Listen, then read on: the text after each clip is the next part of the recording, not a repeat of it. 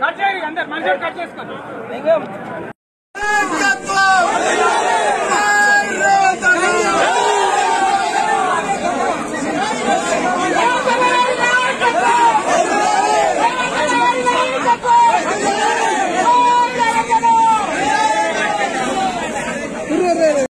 Subscribe us and press the bell icon for more interesting updates.